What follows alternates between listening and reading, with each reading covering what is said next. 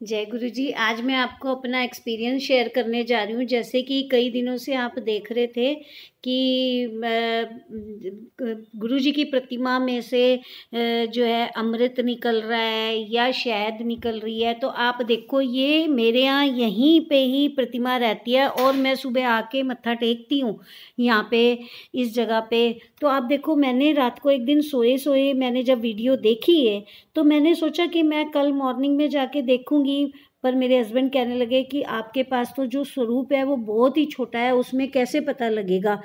पर देखो ध्यान से, जब मैंने इसको साफ़ किया तो आप ये देखो, ये क्या था? ये चिपक चिपक हो रही थी और आप ध्यान से देखो, ये सच्चाई है और इसमें कोई झूठ नहीं है कि मैंने खुद अपनी आँखों से करिश्मा देखा है। आपको भी अगर देखना है, आप अपने घर पे अपनी प्रतिमा को ध्यान से देखो और